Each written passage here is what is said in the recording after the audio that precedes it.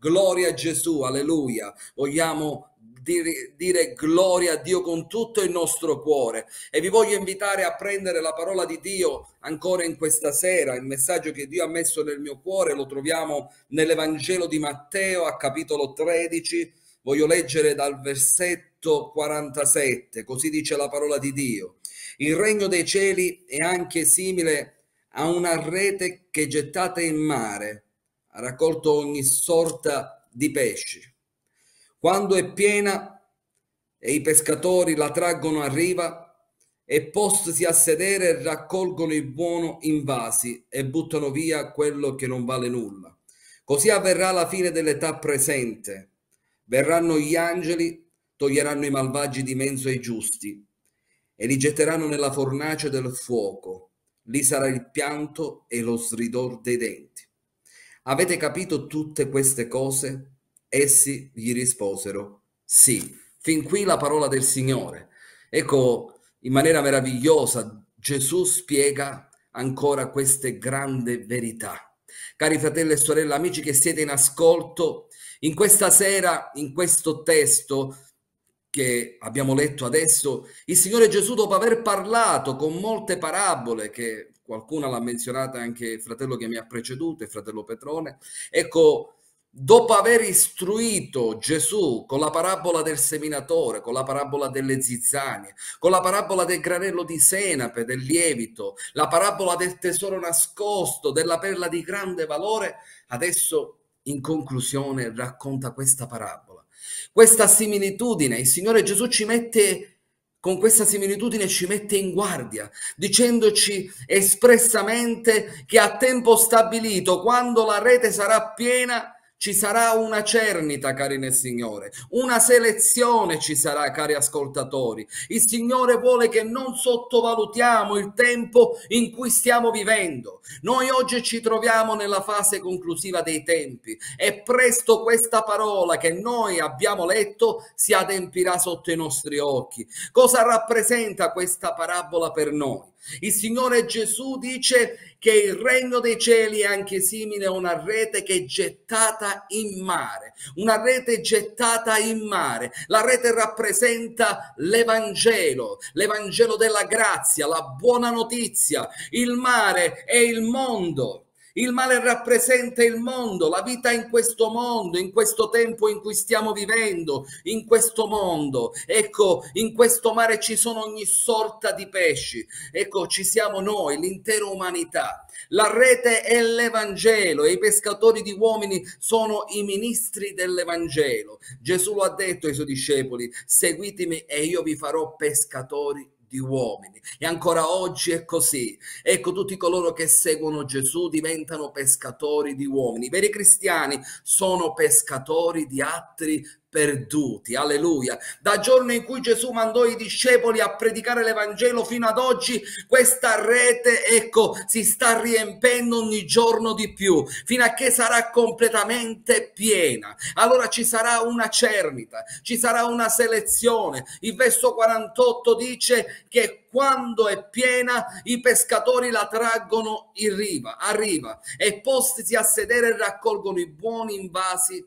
e buttano via quello che non vale nulla. Gesù usava questa similitudine e in quel tempo la gente del posto capivano bene di cosa parlasse perché probabilmente spesso avevano visto nel mar di Galilea i pescatori che raccoglievano i pesci buoni, i pesci buoni in dei vasi che poi contenevano dell'acqua e che poi li portavano al mercato per venderli, mentre quelli che non erano buoni li buttavano via. Gesù usa questa similitudine per comprendere, per farci comprendere quello che avverrà alla fine dei tempi. E non lascia equivoci, infatti dirà verso 49, così avverrà alla fine dell'età presente, verranno gli angeli e toglieranno i malvagi di mezzo ai giusti e li getteranno nella fornace del fuoco ardente, lì sarà il pianto e lo stridore dei denti. Oh cari nel Signore, Gesù si serve di questa parabola per descrivere il giudizio di Dio sugli increduli, su coloro che sono increduli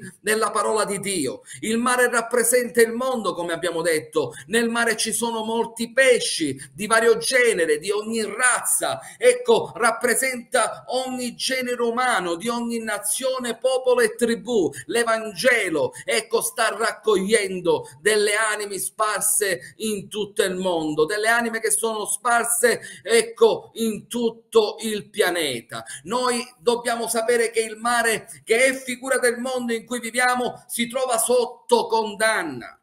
Noi, la parola di Dio parla chiaro, è sotto il giudizio di Dio. Il mondo, questo mondo in cui noi viviamo, si trova sotto il giudizio di Dio. È buono che noi lo diciamo chiaramente per come lo dice la parola di Dio. Ma Dio, per mezzo del sacrificio di Cristo, ha gettato la rete e ancora oggi questa rete è gettata per salvare quanti si lasceranno prendere, si lasceranno pescare da questa rete che è l'Evangelo. Ma ecco che Cari nel Signore, ecco che anche coloro che saranno pescati nella rete e che si trovano in mezzo ai pesci buoni saranno anche essi esaminati, ci dice la parola di Dio. Ci sarà una selezione che Dio farà. Tutti coloro che pur dopo aver ascoltato l'Evangelo, ecco, hanno e, e, vivono una vita lontani da Dio e dai suoi insegnamenti e si danno ai piaceri di questo mondo,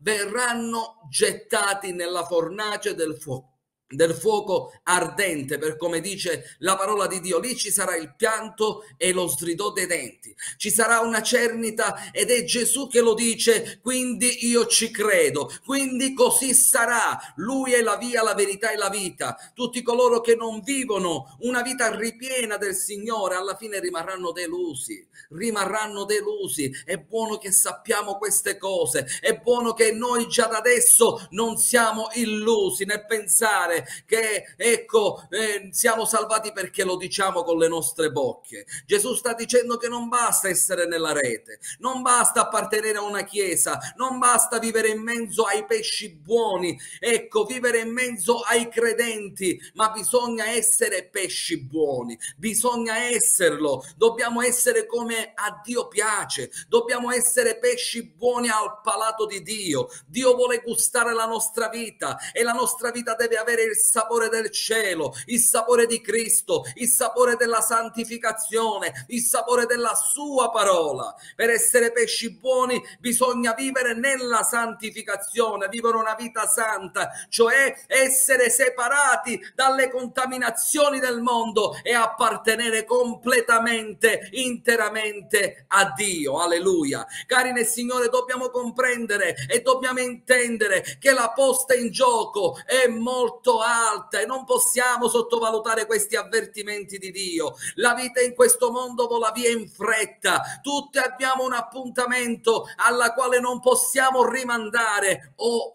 o evitare. La domanda che mi sorge spontanea di fronte a questa riflessione è per cosa stiamo vivendo? Stiamo vivendo in vista di quel giorno? Ecco, caro ascoltatore, stai vivendo per Dio o per il mondo? Per Dio o per i piaceri effimeri di questo mondo? Il diavolo inganna con le sue lusinghe, ti mostra i piaceri del mondo come qualcosa che ti appartiene, che non ne puoi fare a meno, ma presto tutte queste ricchezze, le ricchezze di questo mondo, dovrai pur lasciarle. Giacomo dirà, ecco, Giacomo dirà al capitolo 4 di Giacomo, versetto 13, e versetto da 13 a 15 dice ora a voi che dite oggi o domani andremo nella tale città vi staremo un anno, trafficheremo e guadagneremo e mentre non sapete quel che succederà domani, che cosa infatti è la vostra vita?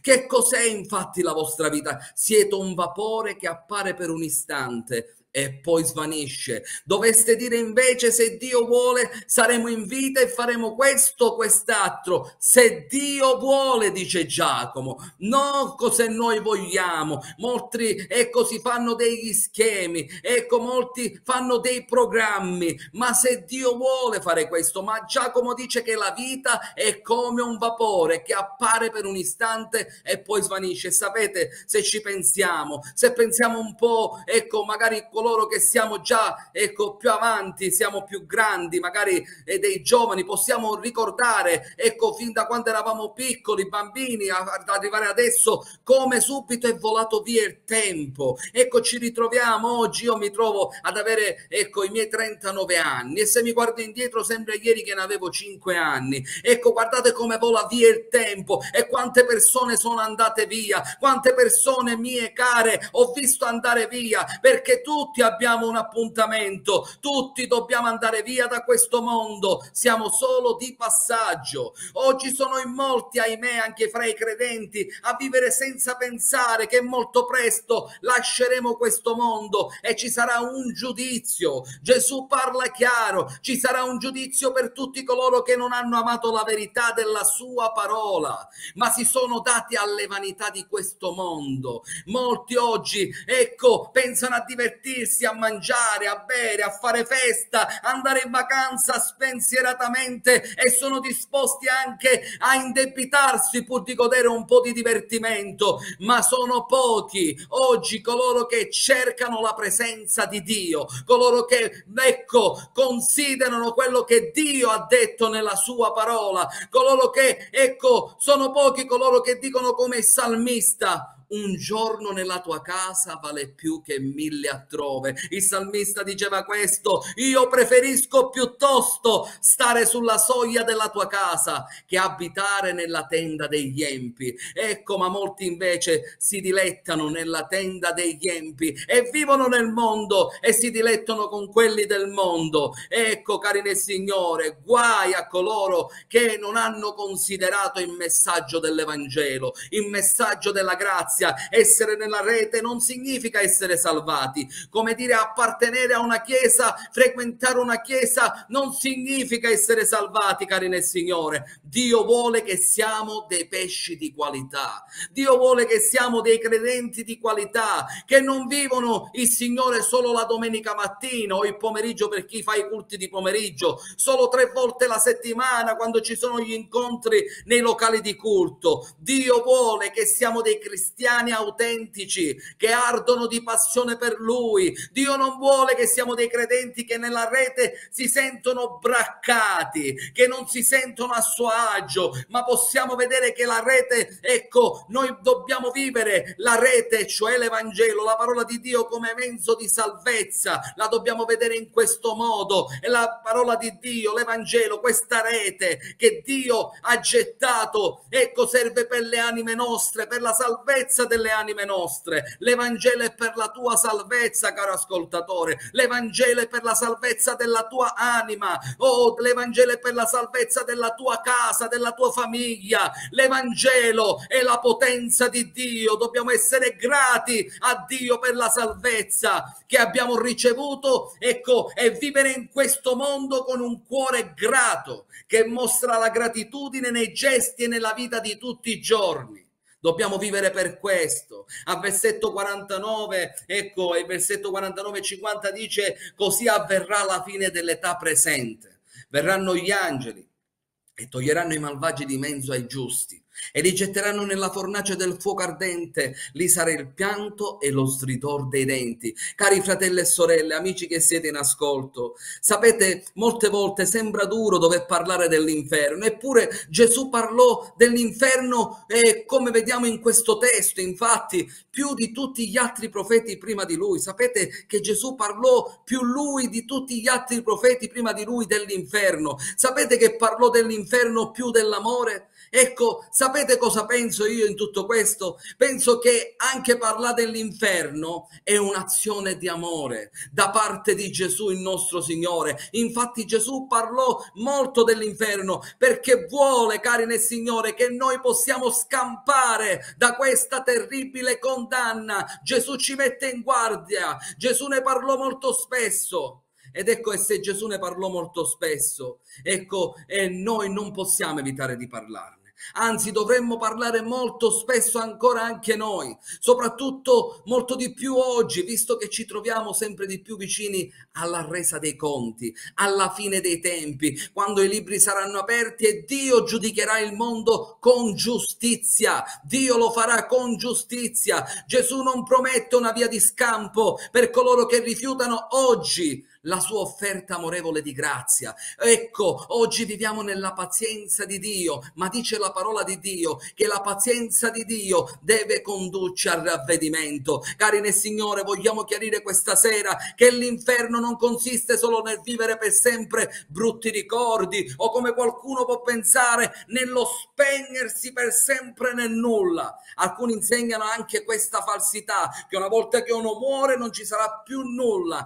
Non è neanche anche come ecco molte volte mi sono ritrovato a sentir dire da qualcuno che avevo evangelizzato mentre parlavo di Gesù, mi sono sentito dire spesso anche con il sorriso, sapete, sulle labbra, con il sorriso sulle labbra dicendo che voleva andare all'inferno. Qualcuno mi ha detto sì, io voglio andare all'inferno perché lì si può peccare senza freno e, e può peccare senza fine, senza essere frenati o ripresi.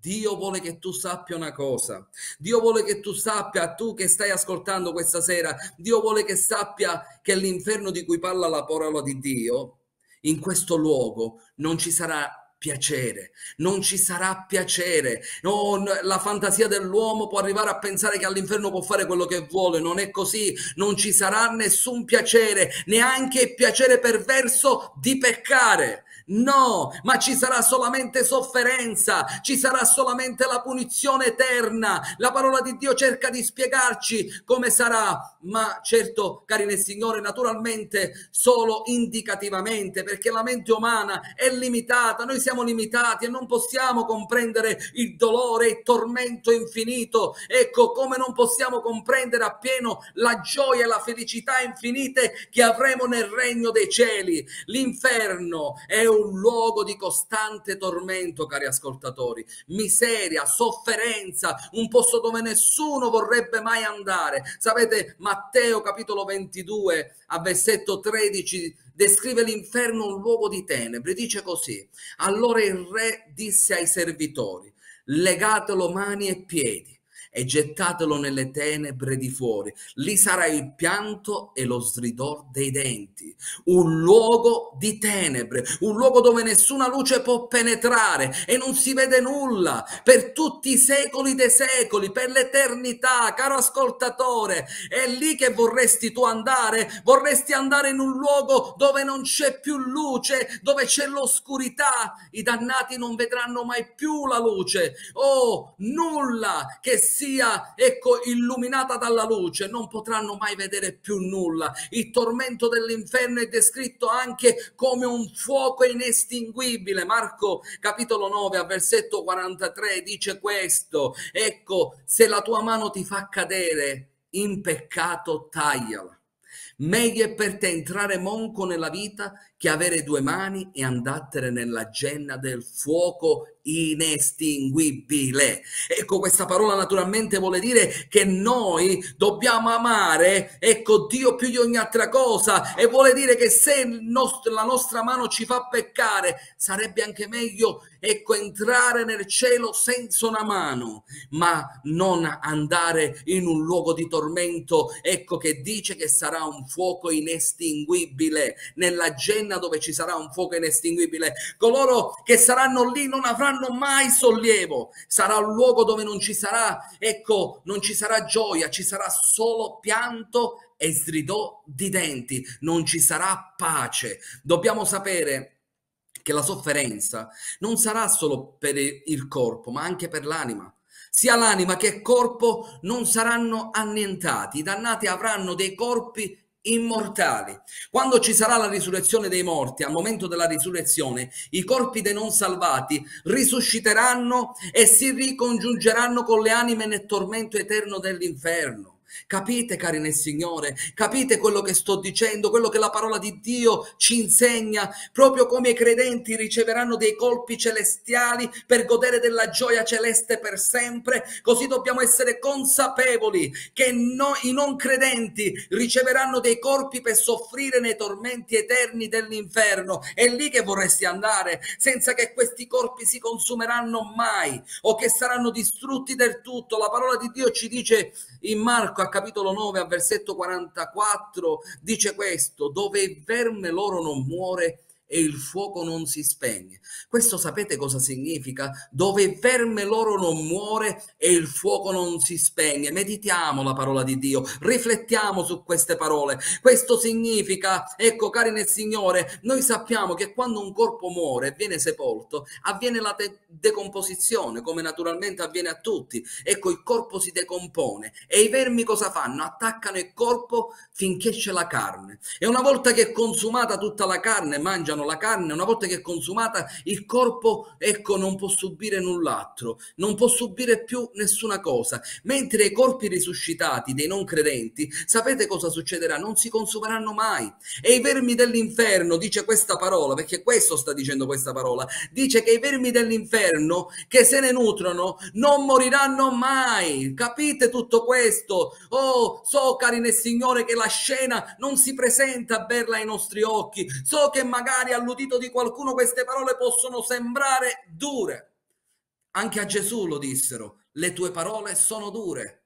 Gesù dice volete andare via anche voi? Ma Pietro rispose, a chi ce ne andremo? Solo tu hai parole di vita eterna. Queste parole possono sembrare dure, ma se la parola di Dio ne parla, chi sono io per tacere, cari nel Signore? Chi sono io per tacere? Ma anzi, credo che sia necessario e indispensabile che noi sappiamo in vista della nostra vita eterna queste cose per stare in guardia. Immaginate poi un'intera eternità nel tormento insieme ai demoni, essere esseri orribili, terrificanti. I demoni sono terrificanti. Immaginate quanta paura possono creare in un uomo che è senza Dio quando ci sono delle persone che sono possedute e vivono nella paura, nel tormento già su questa terra. Immaginate vivere una vita insieme a questi esseri orribili, orribili e terrificanti. Se disgusta parlarne, quanto più sarà terribile conviverci Meglio parlarne adesso che non parlarne e rimanere intrappolati nell'inganno del diavolo. Cari nel Signore, voglio precisare che Dio non ha progettato l'inferno per gli esseri umani, ma per il diavolo e i suoi angeli, dice la parola di Dio. L'uomo sceglie di andarci di propria spontanea volontà, avendo rinnegato Dio e la sua parola, la fonte della vita, si è schierato dalla parte di Satana, ricevendo la stessa condanna. La parola di Dio ci lascia intendere anche se saranno, ecco, che, che saranno sperimentati dei gradi di sofferenza, cioè eh, di male in peggio. Eh, Possiamo leggere in Ebrei a capitolo 10, il versetto 28, dal versetto 28 al versetto 29. Ebrei capitolo 10 dice questo: Chi trasgredisce la legge di Mosè viene messo a morte senza pietà sulla parola di due o tre testimoni di quale peggior castigo, a vostro parere, sarà giudicato degno colui che avrà calpestato il figlio di Dio, che avrà considerato profano il sangue del patto con il quale è stato santificato e avrà disprezzato lo spirito della grazia. Ma ci rendiamo conti, cari del Signore, ci rendiamo conto di quello che dice la parola di Dio. Ecco, se già nell'Antico Testamento, ecco, già si era condannati perché si trasgrediva serviva la legge di Mosè. Molti oggi dicono noi siamo salvati per grazia, ma la parola di Dio ci dice su questa parola, ci dice questo. Ecco, se questi dell'Antico Testamento per la parola di due o tre testimone erano giudicati senza pietà, di quale perciò castigo a vostro parere? La parola di Dio ci dice a vostro parere, considerate voi stessi di quale peggior castigo sarà giudicato degno colui che ha calpestato. Come? Con la propria vita tu puoi calpestare il figlio di Dio, il sacrificio di Dio, di quale peggior castigo, dice coloro che avranno calpestato il figlio di Dio, che avranno considerato profano il sangue del patto con il quale siete stati santificati e avranno disprezzato lo spirito della grazia. Ma ci rendiamo conto del peso di queste parole? Ecco, cari nel Signore, abbiamo una grande responsabilità. Noi oggi, perché siamo stati comprati con il sangue di Cristo, Gesù ha pagato con la sua vita, il figlio di Dio, l'onnipotente, l'alfa e l'omega, affinché tu non vada nel luogo di tormento, ma di quale peggior castigo saranno considerati coloro che avranno, ecco, disprezzato, abbassato il prezzo, il valore del sacrificio di Cristo. Ecco, cari nel Signore, ancora dice in Matteo, ancora per confermare questa parola, Matteo capitolo 11, a versetto 22 eh, fino a versetto 23 dice questo, ecco, perciò io vi dichiaro, dice Gesù, che nel giorno del giudizio dice la sorte di Tiro e di Sidone sarà più tollerabile della vostra e tu, o Capernaum, sarai forse innalzata fino al cielo? No, tu scenderai fino all'Ades, perché se in Sodoma fossero state fatte le opere potenti compiute in te, essa sarebbe durata fino a oggi. Capite cosa stava dicendo Gesù? Gesù stava dicendo proprio questo. Se, ecco, loro sono stati condannati, Sodoma e Gomorra, ecco, ecco ancora di più, voi, se Sodoma, se a Sodoma fossero stati fatti, fatte le opere potenti e compiute che Gesù aveva fatto lì a Capernaum, Gesù aveva fatto delle opere potenti, ma loro avevano rifiutato Gesù e allora dice quale peggior castigo sarà per voi. Ecco, ma voglio ecco avviarmi verso la conclusione, cari nel Signore. Gesù conclude nel testo in cui abbiamo letto all'inizio, Gesù conclude con questa domanda. Ed è il titolo che ho dato a questa, ecco, predicazione, a questa parola che Dio, a questo messaggio che Dio mi ha dato oggi e che ha messo nel mio cuore. Avete capito tutte queste cose? Sapete, l'inizio di questa predicazione è iniziata proprio da questo versetto. Quando ho letto questo versetto mi ha folgorato, mi ha toccato profondamente il cuore. Quando Gesù a versetto 51, nel testo iniziale che abbiamo letto, ha detto proprio queste parole, avete capito tutte queste cose? Essi gli risposero sì, cari nel Signore, questa parola, dopo tutte queste parabole che Gesù aveva detto, dopo questa parabola che Gesù racconta della rete e della genna di fuoco e dell'inferno e del tormento eterno, Gesù dice queste parole. Avete capito tutte queste cose? E questa sera Gesù lo dice a te, lo dice a me, lo dice a noi. Avete capito tutte queste cose? Ma ci rendiamo conto di cosa stiamo parlando? Qui la posta in gioco è alta, noi stiamo parlando della vita eterna del nostro futuro eterno, non stiamo parlando di un tesoro che presto finirà come tutto il mondo, ecco, passerà, ma stiamo parlando della vita eterna. Avete capito quest- tutte queste cose? Gesù, ecco, questa parola vuole dire anche mettere insieme tutte le cose e cercare di comprendere quello che lui ha detto. Dobbiamo avere uno spirito di intendimento questa sera, dobbiamo comprendere quello che Gesù vuole dire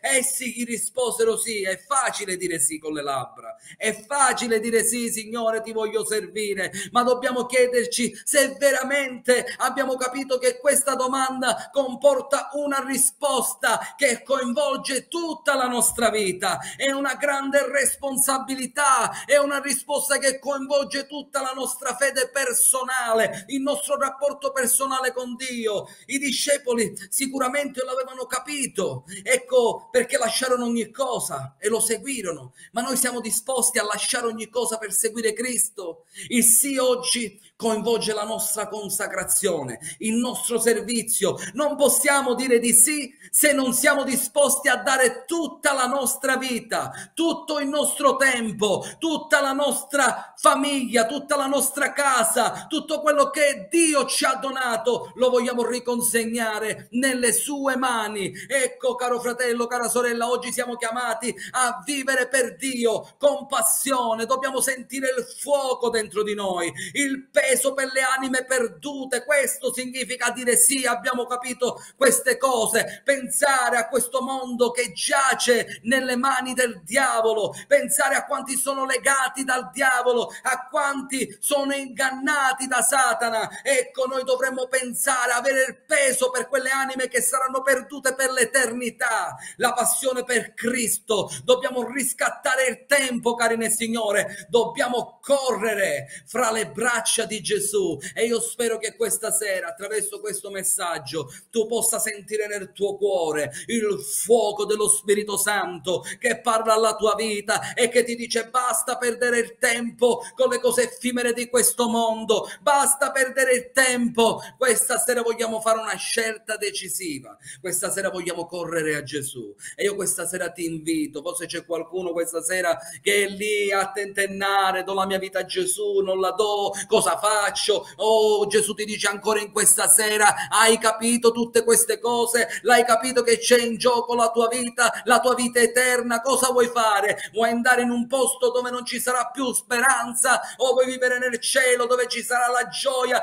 dove dice la parola di Dio ogni lacrima sarà asciugata, non ci sarà più malattia, non ci sarà più morte, non ci sarà più sofferenza. Dove vuoi andare, cara sorella, caro fratello? Dove vogliamo andare? Caro amico che sei in ascolto, questa sera tu puoi prendere una vera decisione. Questa sera tu puoi dire basta al peccato, basta ai piaceri della carne. Io voglio vivere per Cristo, voglio vivere per colui che mi aprirà le porte del cielo. Alleluia. Gloria a Gesù. E io voglio invitarti questa sera, ecco, ad alzare la tua mano nel posto dove ti trovi. Io non ti posso vedere, ma c'è Dio che ti vede. E se in questo momento non lo fare se non hai capito, ma se hai capito questa sera, se Gesù ha parlato al tuo cuore, alza la tua mano come in segno di arresa, alza la tua mano a Dio questa sera e di Signore, oh ecco io mi voglio arrendere nelle tue mani, voglio pregare per coloro che alzeranno la sua mano, fallo con tutto il cuore, con sincerità di cuore, ecco,